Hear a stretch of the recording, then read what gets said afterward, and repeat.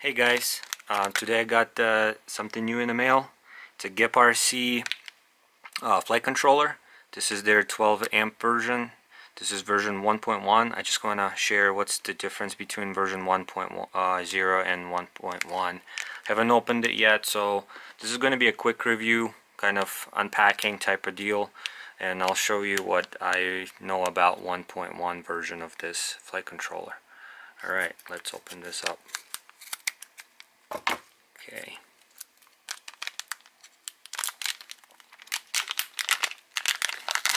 Got a flight controller here. Um,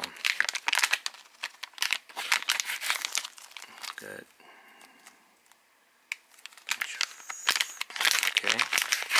Got the XT30 and we got some stickers here.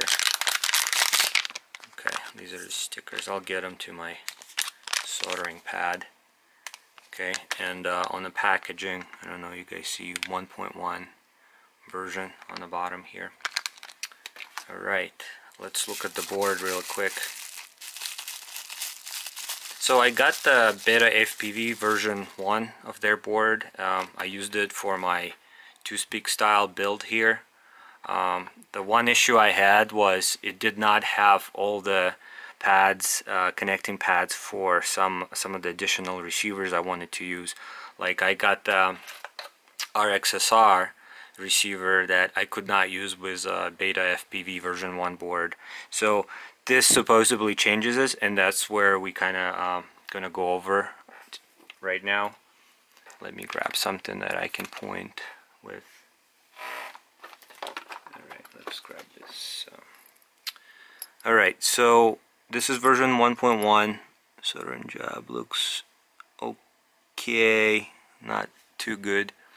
Um, so one cool thing about this version is we now have a pad right here. And it says it's an FP pad okay? So I'm assuming it's a it's a F port right? A FrSky port. Um, older version, version 1, did not have that, okay? And in addition, now we have a 3.3 volt port. We did not have that in a version 1. So this is a uh, this is kind of cool because we can what I can do is I can take the RXSR I can flash the F-port firmware on it and I can send a, a, a signal straight up to this uh, F-port pad and hopefully it, will work. I have not tested that yet. This is my next thing. This is uh, kind of, I'm going to do a next video. I'm still waiting for my X-Lite Pro to come in to test it out and then uh, I'll, I'll make another video about the RXSR um, and all its features. But so far it looks very similar to the Beta FPV board. I'm sure they're kind of stamping them in the same factory. And I know Beta FPV website did mention their version 1.2 also uh, uh, accepts RXSR and uh, I believe R9M receivers if I'm not mistaken. So um, so is this board. So I just kind of wanted to show you why it's this version 1.1 is different from 1.0 and some of the kind of advantages which I'm excited that I can use this uh, RXSR receiver on uh, on this board and I will be building my next uh, pickle frame build here with uh, 1103s and just kind of do a, a, quick fitting guide.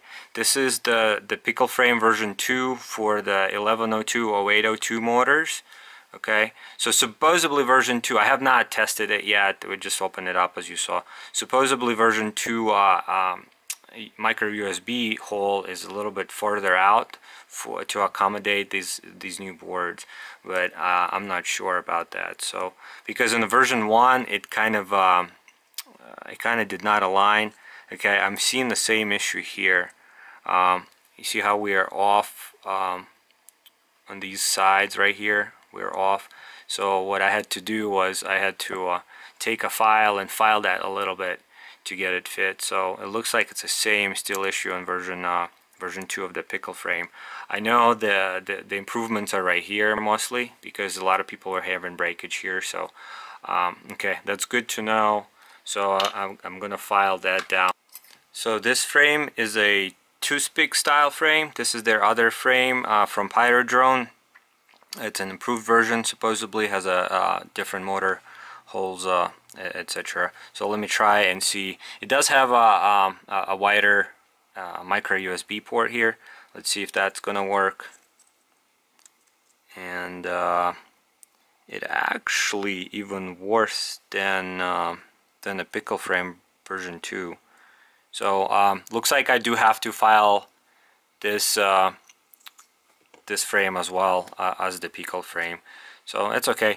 Um, these these frames were made for F4 Crazy Bee boards, and um, their um, micro USB port was uh, slightly um, towards the center of the board, so that's that's why. I guess they had to move it farther in order to accommodate for these bigger MOSFETs. Anyway, uh, I'm excited uh, to build this up, to uh, connect the RXSR to this board, and um, build another toothpick style uh, micro drone. So hopefully this helped.